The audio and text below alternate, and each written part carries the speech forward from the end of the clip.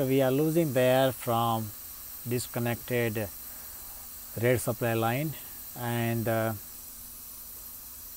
tractor's uh, supply valve should close before uh, 20 psi.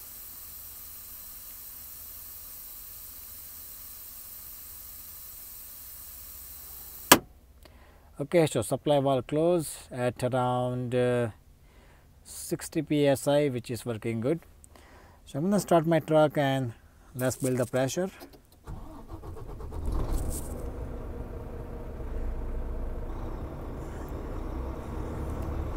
I am just going to go outside and uh, reconnect my red supply line, make sure my brakes are applied and idle up.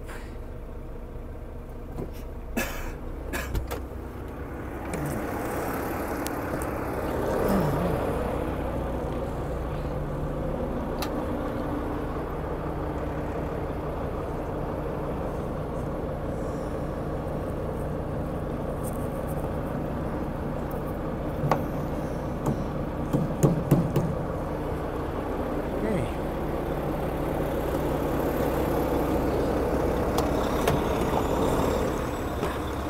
Okay, so next thing I'm gonna do my blue line test. So I'm just gonna go and about 90 psi. I'm gonna release my supply line and uh, it's gonna go out and disconnect my blue service line, which we're gonna check our tractor protection valve. Just gonna check, make sure my brakes are applied again.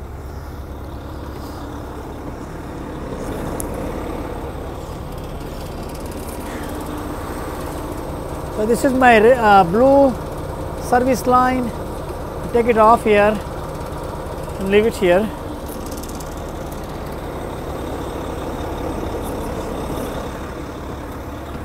So as soon as I come in and I'm gonna just gonna release my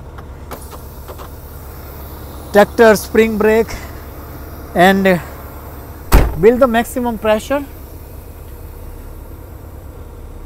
So once we reach the maximum pressure, I'm gonna shut down my engine.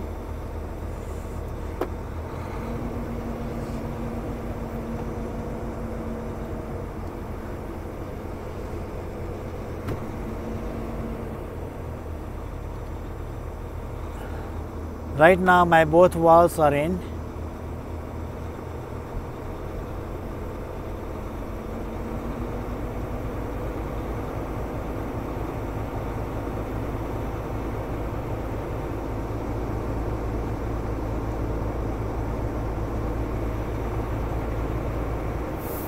Okay, so I just hear my air dryer shut out.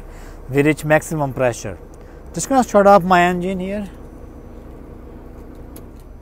and uh, just put the ignition back on so I can see my gauge here again. And I'm gonna press and hold my foot brake right there. Press and hold. As we see, we are losing the pressure from the we're losing the air from disconnected blue line and the tractor protection valve should close before 20 psi and my both button yellow and red should pop out.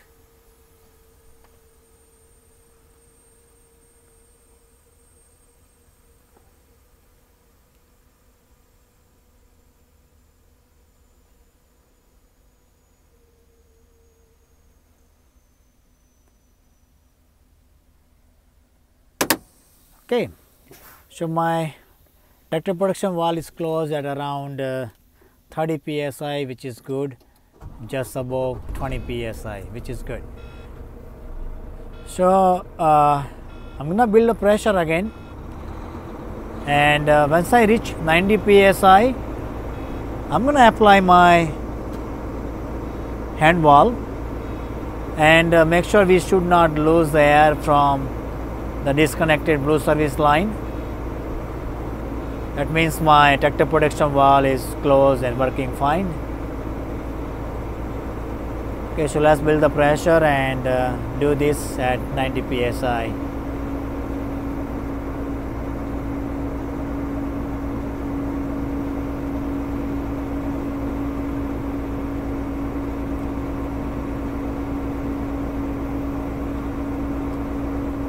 So we reached 90 psi and I'm just going to release, uh, apply my hand valve and I hear no air leaks from or you know release from the blue service line. That means uh, you know my my tractor protection valve is closed and working fine. So yeah, we are here. We are done with the red, uh, blue, red and blue line. The next one we're gonna do our air leak test. So I'm just gonna go outside and reconnect my blue service line. Just gonna check my brake are applied. Just go outside now and build up the pressure.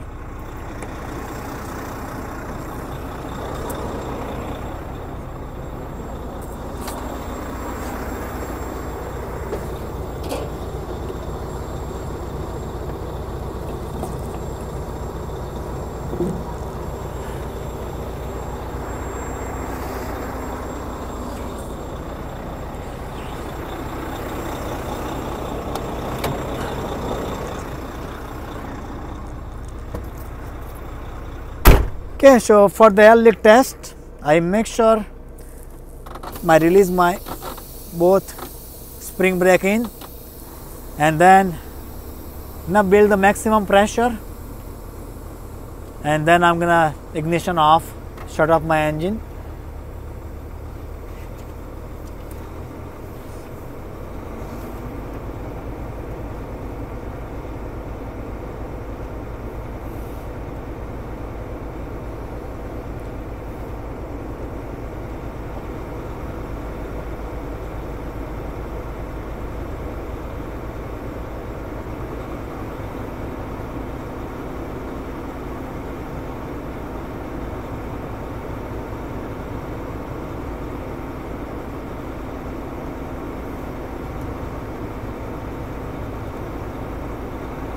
Okay, so we reach the maximum pressure. I shut off my engine. Timer. Okay, so I'm just gonna leave my ignition on and uh, press and hold my brake for the one minute and we should not lose uh, more than 4 psi. So I'm just gonna apply my foot pressure at the maximum and start my time and uh, right there.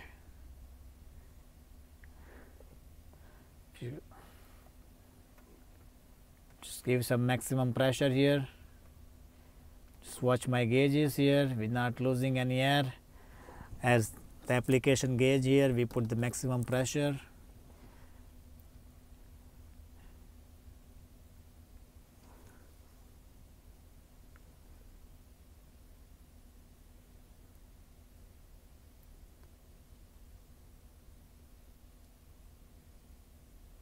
Okay, so we already uh, passed the half half minute, about 30 seconds, and uh, we still not leaking any air, and uh, keep holding the pressure, and my gauge are not move at all.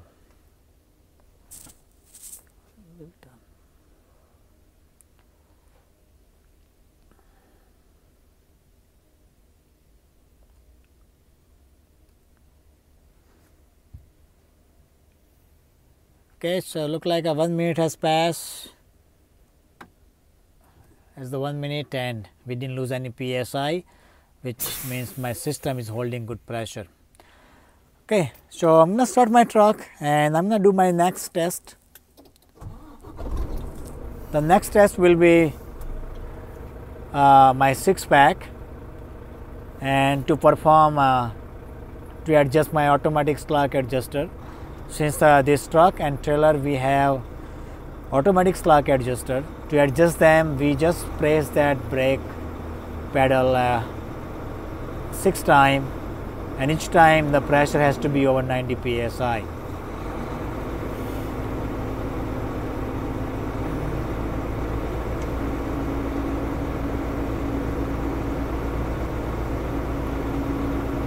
gonna ensure my both yellow and red should be in and truck should be running.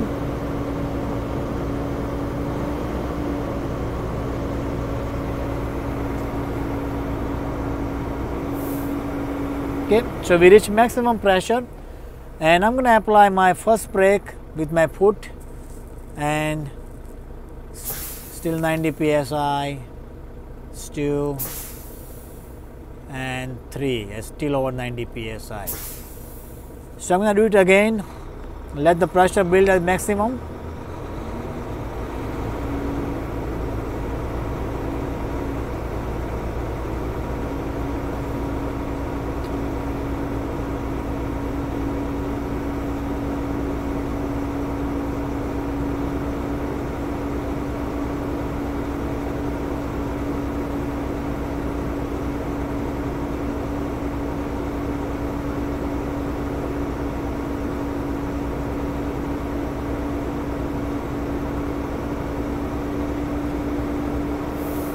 okay that's four five and six okay so we adjust our automatic slack adjuster the next one we'll do our push rod travel. so just gonna leave my pressure between the 190 psi and uh, make sure my both uh, spring brake are red and yellow should be in. And shut off my engine just, leave the, my ignition on to check my gauges. I'm just gonna you know mark my my push rod with my chalk. So I'm gonna show you which one is outside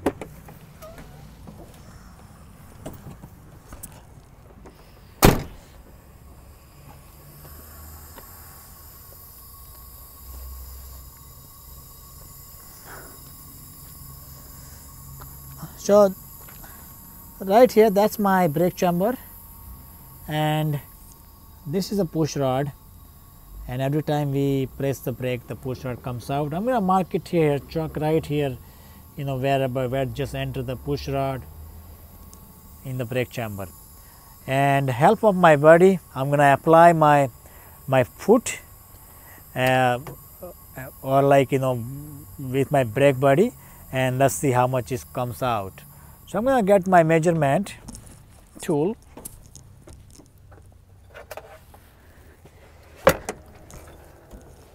uh, can you please uh, press the brake for me please.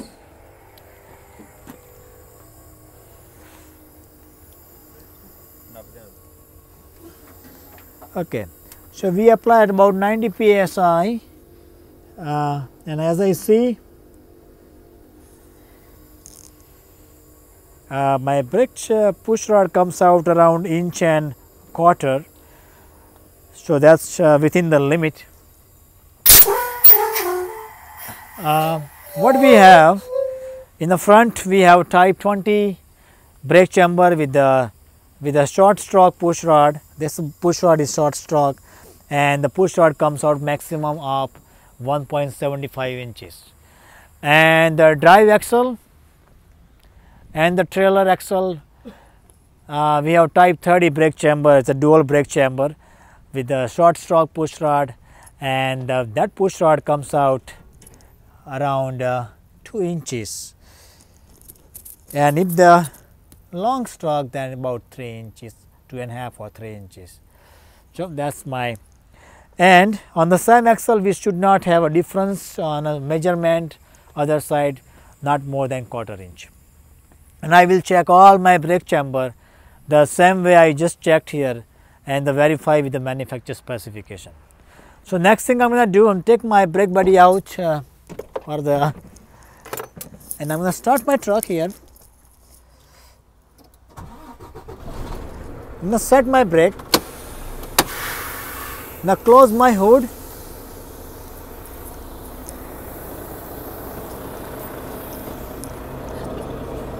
and uh, take my block out too.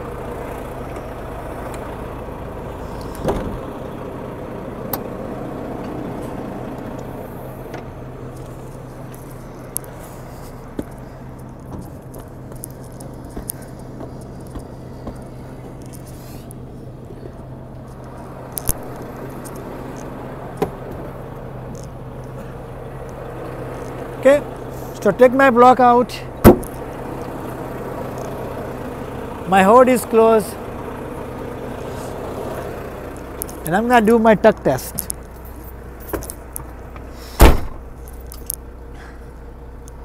So I ensure that I make sure I put my seatbelt on to do the tug test.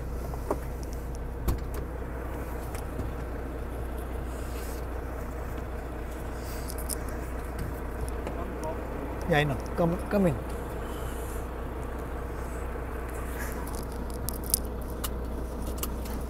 Okay.